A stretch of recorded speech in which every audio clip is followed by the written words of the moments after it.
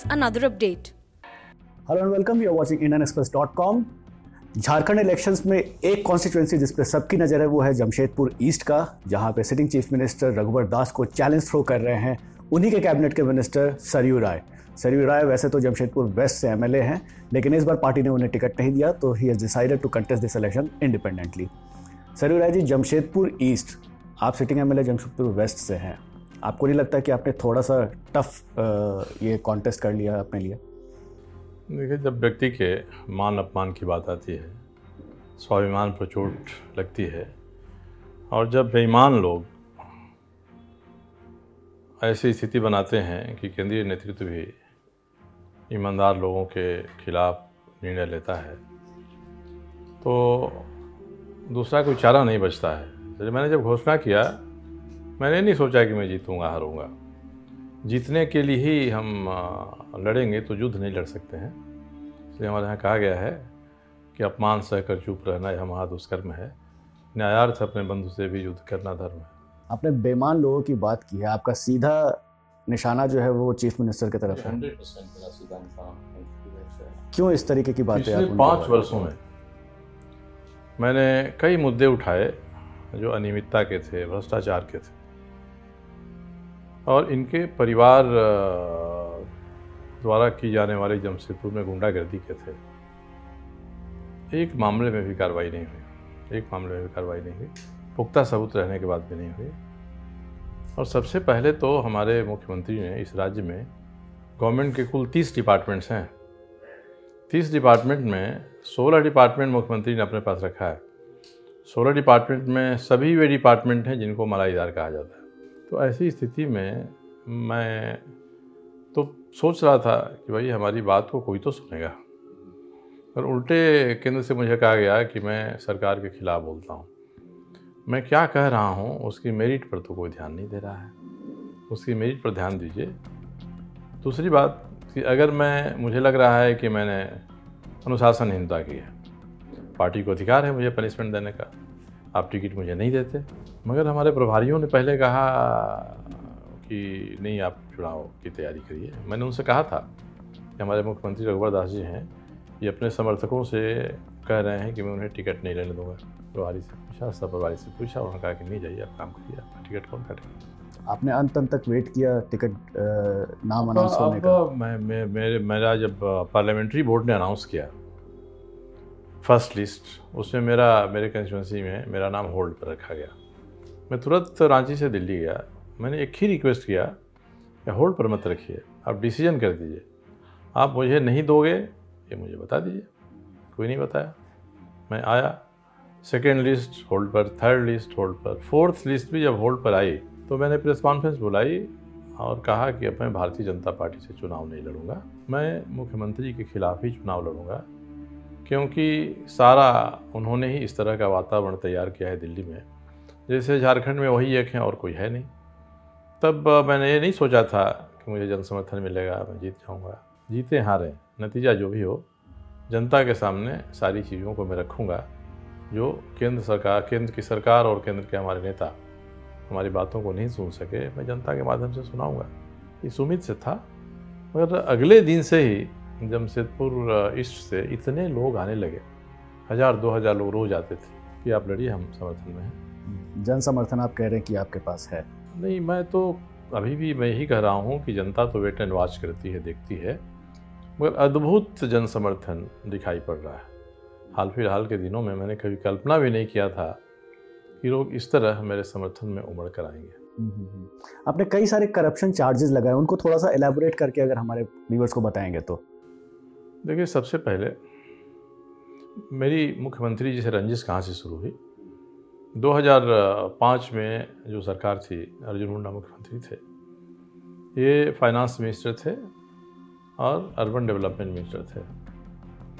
इसके पहले बाबूलाल मरांडे जी की सरकार ने रांची के सीवरेज ड्रेनेज के लिए ओ आर मार्ग को कंसल्टेंट बहाल किया था अपॉइंट किया था, तीन करोड़ रुपए आते ही इन्होंने उसको कैंसिल कर दिया ग्लोबल टेंडर निकाला।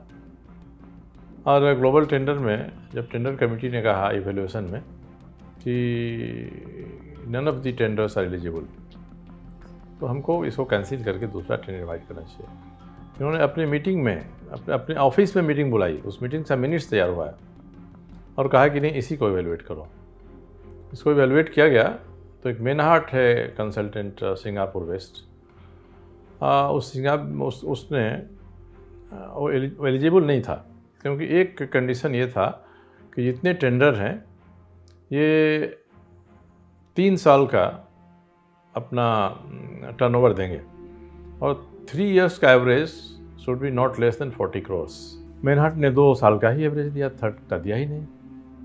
और दो साल के ही एवरेज पर इसको लोगों ने क्वालिफाई करा दिया। विधानसभा में समिति में उठी, मेरी समिति में मामला आया, मैं कमेटी का चेयरमैन था। मेरे सामने मामला आया तो मैंने कहा कि सारी चीज़ें क्राइस्टल क्लियर हैं। कैसे मैं कह सकता हूँ? कि इसमें गड़बड़ी नहीं हुई, मैंने रिपोर्ट दे दिया। मैंने मुख्यमंत्री को या रघुवर दास जी को डायरेक्टली ब्लेम नहीं किया, मगर मैंने सारी चीज़ों को लिखा कि ब्लेम इन पर ही आएगा उसके बाद फाइव मेंबर्स कमेटी बनी जिसमें फाइव इंजीनियर इन चीफ्स हैं इसी स्टेट में डिफरेंट वर्क्स डिपार्टमेंट में। उन्होंने टेंडर को एवेलुएट किया। उन्होंने भी कहा कि from very beginning at the time of floating of tender और डिसाइडिंग ऑफ़ टेंडर गलतियाँ ही गलतियाँ हुई हैं। क्यों कोई हाई कोर्ट गया? हाई कोर्ट ने डायरेक्ट किया कि go to the vigilance commissioner. उसने पिटिशन डाला। विजिलेंस कमिश्नर ने विजिलेंस के टेक्निकल सेल से स्टडी कराया। उसने भी यही दिया। त्रुटियाँ हैं इसमें कमियाँ हैं इसमें। आज तक उसके बारे कोई निर्णय नहीं हुआ। एक बात बताइए सरयू राय जी आपने करप्शन चार्जेस चीफ मिनिस्टर पे लगाए हैं। एक आपके फाइव ईयर के भी टेंडर में एक दाग जो आप पे भी लगता है वो है जो स्टावेशन डेथ झारखंड में हुआ था। ग्लोबल हम्म। पहले तो स्टारवेशन डेथ का मामला मेरे डिपार्टमेंट से रिलेटेड नहीं है। Food and supply minister just responsible to give ration to those who has ration cards इसके बाहर हमारा कोई रोल नहीं है। जिसके पास राशन कार्ड है। अब ये कह सकते हैं कि आपने एक्स वाई जेड का राशन कार्ड आपके यहाँ नहीं बना। ये न्यूट्रिशन डिपार्टमेंट है हेल्थ डिपार्टमेंट है उसका मामला है। फिर भी मैंने गवर्नमेंट की तरफ़ से इसमें आगे बढ़कर मेरे मेरे अलावा किसी ने कुछ नहीं कहा इसमें। मैंने एक प्रोटोकॉल बनाया। स्टारवेशन डेथ होगा, कैसे प्रूव किया जाएगा? ये पहला स्टेट है, इसमें प्रोटोकॉल बना। और ये प्रोटोकॉल जो सोशल एक्टिविस्ट हैं, राइट टू फ़ूड के, उनके सहयोग से बना। उसके बाद मैंने एक ग्रेन बैंक बनवाया अपने डिपार्टमेंट से, कि मुखिया लेवल तक हर मुखिया के पास दस हज़ार रुपये का रिवॉल्विंग फंड रहेगा। लगता है कि कोई व्यक्ति भूख से मरेगा या उसे खाने पीने के लिए नहीं है, उसके पास राशन कार्ड भी नहीं है। तो वह बाज़ार से ख़रीद के उससे पैसा देगा, दो हज़ार रुपये का ख़रीद देगा तो दो हज़ार रुपया फिर उसके फंड में आ जाएगा, कांस्टेंट दस हज़ार रुपया रहेगा। फिर अन्नपूर्णा योजना के तहत ten kilo food food grain to those, जो भूखे लग रहे हैं और जिनके पास राशन कार्ड नहीं है, ये बनाया। वीडियो सी के पास है। या yeah, एग्जैक्टली exactly. लेकिन उसमें ये प्रॉब्लम है कि जब आपने योजनाएँ बनाई थी और आपको जब ये पता था कि ये सारे स्कीम्स इम्प्लीमेंट होंगे और ऑनलाइन पीडीएस सिस्टम एक तरीके से सरकार इम्प्लीमेंट करने वाली थी आपको ही पता था कि यहाँ पे नेटवर्क का क्या इशू है। इन सब चीज़ों को कंसिडर किया था आपने कि आप अभी भी देख लीजिए। हम्म। जो राशन टेकर्स हैं कितने परसेंट राशन ले रहे हैं? जहाँ नेटवर्क नहीं है वहाँ के लिए हमने अलग व्यवस्था किया। जहाँ नेटवर्क उसके बाद भी नहीं पहुँच सकता है उसके लिए हमने ऑफलाइन व्यवस्था किया। आज भी करीब 2000 1800 जो शॉप्स हैं वो ऑफलाइन हैं वहाँ कोई नेट की ज़रूरत नहीं है। Sir ji current political situation जो झारखंड में है उसके बारे में आपका क्या आपको क्या लगता है कि आपकी जो पिछली पार्टी जो थी अलाइस पार्टी भी उनके उनका साथ छोड़ चुकी है जैसे भी सेपरेटली चुनाव लड़ रही है और छोटे मोटे पार्टी एलजेपी वगैरह सब अकेले लड़ रहे हैं। आपको क्या लगता है बीजेपी कहाँ खड़ी है इस इलेक्शन में? देखिए मुझे लगता है कि उचित समय पर उचित निर्णय नहीं लेना जो पहले कांग्रेस की आदत में शुमार था, वो भारतीय जनता पार्टी में शुमार हो रहा है। हम हम गवर्नमेंट बना रहे हैं, डेमोक्रेसी को हमने अडॉप्ट किया है पीपुल सपोर्ट होगा तो गवर्नमेंट बनेगी, नहीं सपोर्ट होगा नहीं बनेगी। अगर ये कल्चर जो श्यामा प्रसाद मुखर्जी, दीनदयाल उपाध्याय से लेकर था टू अटल जी अटवानी जी तो पीपुल सपोर्ट होगा, करेंगे, नहीं होगा, नहीं करेंगे। अब हमको बाई हुक और क्रूक गवर्नमेंट बनाना ही है। ये महाराष्ट्र की तरफ़ नहीं महाराष्ट्र के भी तरफ़ है और भी पहले हैं। ये पहले कांग्रेस किया करती थी। हम हम उसकी आलोचना करते थे। अब हम उस पोजीशन में आ गए तो हमको तो एक नया रास्ता इस्टेब्लिश करना चाहिए था।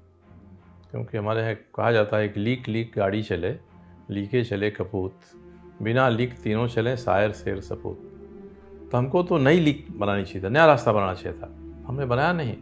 उसी घिसी पिटी लकीर पर उसी घेरे में हम घूमते रहे तो जहाँ तक इस स्टेट की बात है मैं इसलिए नहीं कह रहा हूँ कि मैं पार्टी से हट गया हूँ पार्टी ने मुझे टिकट नहीं दिया बल्कि जो फ़ील्ड से खबरें आ रही हैं इन्होंने 65 प्लस का स्लोगन दिया है। घर घर रघुबर को भी आपने चैलेंज किया। और मुझे लगता है कि 25 प्लस हो जाए तो बहुत हो जाएगा। घर घर रघुबर का नारा इन्होंने दिया। मैंने ट्वीट किया नेताओं से कहा कि हमारा पार्टी का कल्चर तो ये नहीं है। घर घर भाजपा घर घर कमल हो ये होना चाहिए। बाद में वो स्लोगन सेल्ड हो गया हमारे कहने के कारण से। ही मगर कहीं भी पर्सनालिटी कल्ट की बू आएगी हम परिवारवाद की का विरोध करते हैं। और जहाँ हमारे मुख्यमंत्री हैं उनका भाई उनका भतीजा उनका बेटा उनका भगिना उनका साला ये सबके सब लगे हैं रंगदारी वसूलने में। बट ये तो घर घर मोदी भी तो नारा पहले लगता था तो फिर आपको इससे आपत्ति क्या हो गई। उसको पीपुल्स ने दिया था, मोदी जी ने नहीं दिया था। गोवा की जो कार्य समिति हुई थी, जिसे मोदी जी को लोगों ने कंधे पर उठा लिया था, उससे नारा लगा था। दूसरा है कि मान लीजिए मोदी की जो स्थिति आज बनी है, कल क्या रही कोई नहीं कह सकता है, क्योंकि कल परसों भी क्या था हम सभी जानते हैं। पर गिवन सिचुएशन में मोदी का एक्सेप्टेंस है, लोग उनकी बात सुनते हैं। आज भी मोदी कहते हैं तो लोग उसको सीरियसली थिंक ओवर उस पर करते हैं। तो मोदी की एक अलग बात है, अगर हर आदमी अपने आप को मोदी के ही लाइन में रखना चाहेगा, और ये आड़ लेगा कि मोदी जी ने भी साहब ऐसा किया था, इसलिए हम ऐसा कर रहे हैं तो ये बात पचती नहीं है। देखिए, मैंने एक सीरियस इशू रेज किया। एक यहाँ हमारी कंस्टिट्यूंसी का एक लड़का है, वो मुख्यमंत्री का साला है, उस साले का दोस्त है। नोटबंदी होने के चार दिन के भीतर मुख्यमंत्री का, के साला साहब उसके यहाँ गए और कहा कि ये सोलह लाख रुपया है, तुम इसको रखो। मेरी दीदी का पैसा है, तुम इसको रखो, इसको चला दो। सबूत के तौर पर उन्होंने एक एग्रीमेंट कर लिया उसके प्रॉपर्टी का कि हम डेवलप करेंगे। डेवलपमेंट एग्रीमेंट हो गया। अब डेवलपमेंट एग्रीमेंट गुड फेथ में था। पैसा दे देगा, आप दे देंगे। साल भर के बाद वो दौड़ रहा है उसके बाद से 2018-19 से पैसा ले लो भाई। वो कहता है कि नहीं, हम तो डेवलप करेंगे, तुम्हारा प्रॉपर्टी लेंगे। उसको थाने में बैठाया गया, मारपीट की गई, उसके पूरे परिवार को थाने में बैठाया गया। वो मिलने गया मिलने गया, बुलाया मुख्यमंत्री के साले साहब ने, मिलने आओ मिलने गया, थानेदार को खबर किया कि हम पर हमला करने आया, फिर थाने में बैठा दिया। उसके बाद उसके पूरे परिवार के लोग मेरे यहाँ आए, कि साहब, हम आपकी कंस्टिट्यूंसी के हैं वोटर हैं, हमारे साथ ऐसा ऐसा हो रहा है। मैंने उससे पूछा तो उन्होंने कहा कि हमने डीसी सीनियर एसपी सारे ऑफिसियल्स को लिख कर दिया है कि हमारे साथ ऐसा ऐसा हो रहा है। फिर मैं सीनियर एसपी को फ़ोन किया कि अगर इसने आपको लिख कर दिया है तो नोटबंदी के समय में साढ़े सोलह लाख रुपया कैश का ट्रांजैक्शन होगा तो आपको तो इनकम टैक्स को बताना चाहिए था आपने बताया नहीं है। आप सभी नपोगे इसमें फिर तब जाकर उसको राहत हुई। उसे कुछ दिन बाद फिर गुंडागर्दी होने उसके साथ। तो हाईकोर्ट में जाकर उसने पीएल किया। तो ये सबूत सारे हैं। आखिर कौन इसको देखेगा? हमारे दो तीन तो चीज़ें हैं जिसमें पर्सनली इन्वॉल्व हूँ। एक हमारे क्षेत्र का यंग बॉय था, वो सीएम के एरिया में एक बिल्डिंग कंस्ट्रक्ट कर रहा था। चीफ मिनिस्टर के अपने लोग उससे रंगदारी मांगने लगे। मेरे पास आया कि मैंने समझा कि हमसे कुछ चंदा उंदा लेंगे, मैं पाँच हज़ार रुपया दे रहा था। ये गाली ग्लौज उसने रिकॉर्ड करके लाया, कितने वलगर लैंग्वेज में वो गाली दे रहे हैं। कहेगा मैं आपको दिलवा दूँगा उससे। तो मैंने कहा, थाना में रिपोर्ट कर दो। वो थाना में रिपोर्ट किया अगले दिन थाने वाले ने बैठा के उसको ही हाजत में बंद कर दिया। बट ये जो चीज़ें आप बता रहे हैं ये तो आप पाँच साल से चीज़ें दो और नोटबंदी मैं मैं मैं मैं इन सबों को उठा रहा हूँ। मेरे यहाँ तो नोटबंदी के बाद जब वो परेशान हो गया उसके डेढ़ साल बाद आया। मैंने उसको बताया उसको मैंने बताया मैंने ऑफिसर से बात की। तो जो भी चीज़ें मैं आज कर रहा हूँ मैंने जब से कहा तब से मैं अप्रोप्रिएट फोरम जो हमारा होता है उस पर मैं रेज करते रहा हूँ। ऐसा नहीं कोई कहेगा।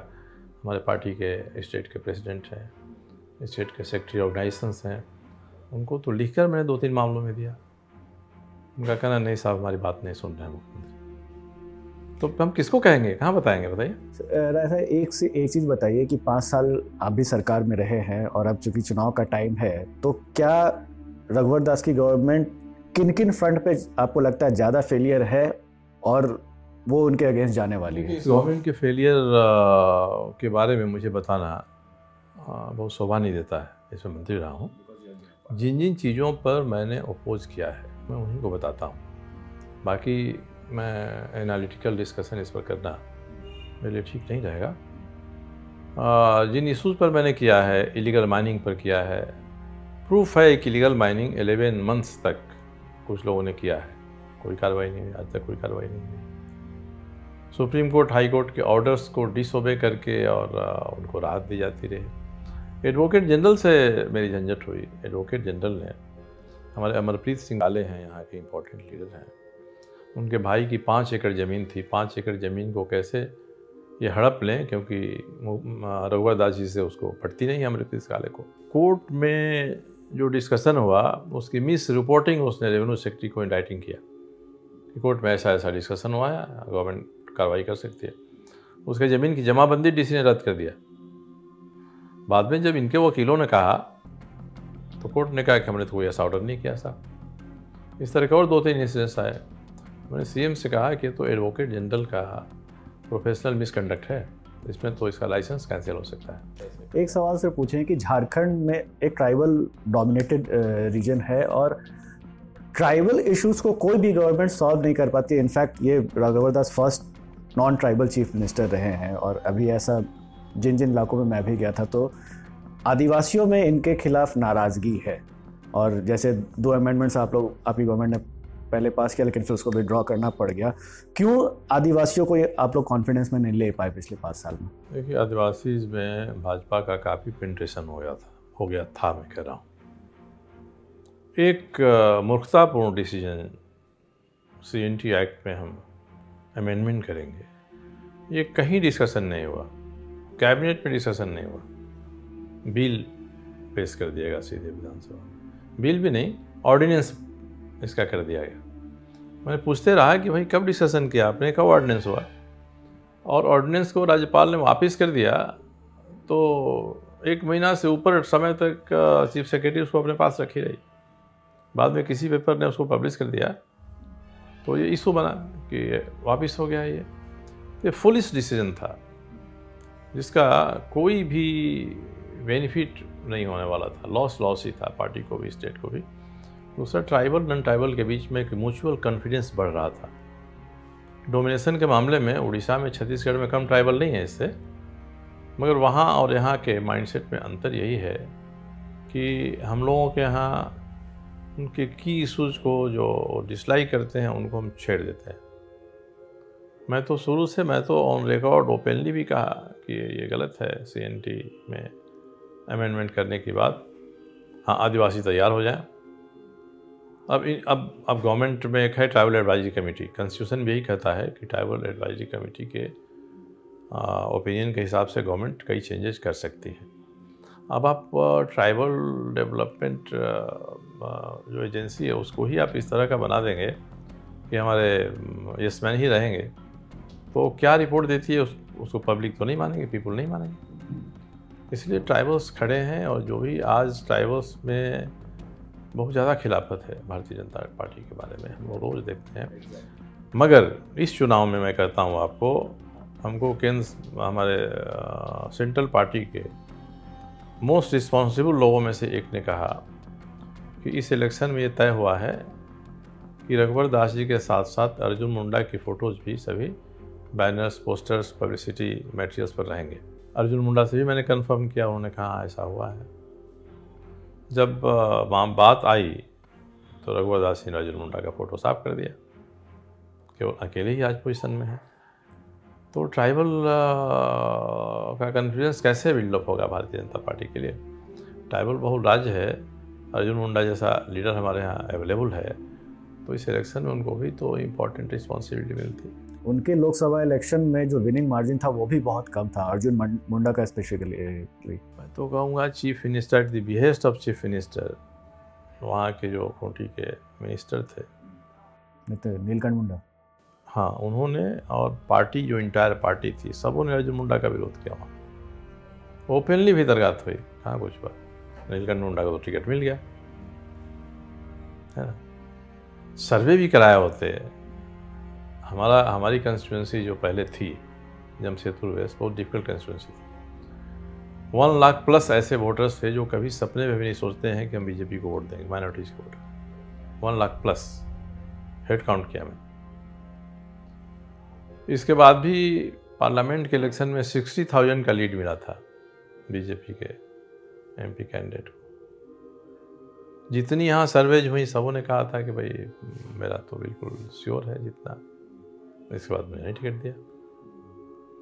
तो ये स्थिति आती है कि कोई एक व्यक्ति की पसंद, नापसंद इस हद तक बढ़ जाएगी कि पार्टी में हम कंट्राडिक्शंस को मैनेज नहीं कर सकेंगे।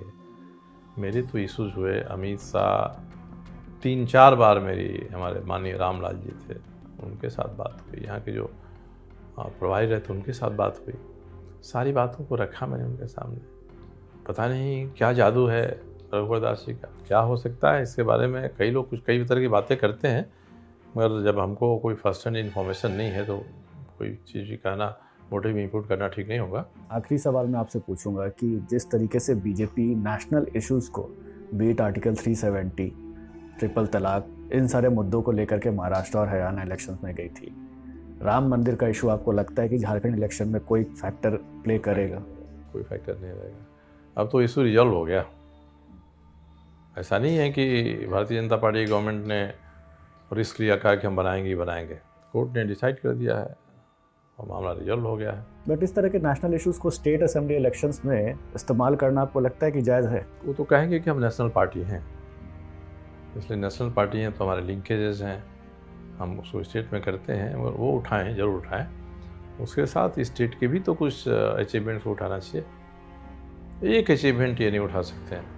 स्किल डेवलपमेंट और एम्प्लॉयमेंट के बारे में इतना तमाशा हुआ दो साल तक। Guinness book of Limca book of record में आ गया।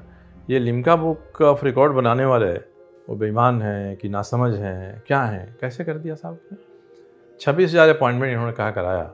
मेरे पास एक एक कैंडिडेट्स के नाम हैं। ढाई हज़ार से ज़्यादा एम्प्लॉयमेंट नहीं हुआ और अभी सात हज़ार रुपये महीने पर हुआ। कोई पूना भेजा, किसी को चेन्नई भेजा, वो अगले महीने लौट आए। एक लाख अगले साल कहा दीनदयाल उपाध्याय की जन्मतिथि पर कि एक लाख एम्प्लॉयमेंट दिया है। कहीं कोई नहीं है। सारे नाम है मेरे पास सॉफ्ट कॉपी में। कोई ले ले। टेलीफोन करके पूछ लो तुम्हारा हुआ है कि नहीं हुआ है। अब ऐसा होने पर जब लिमका बुक ऑफ़ रिकॉर्ड वाले अपने में दर्ज करते हैं तो सोचिए, कितना घटिया स्टैंडर्ड हो गया लिमका बुक का।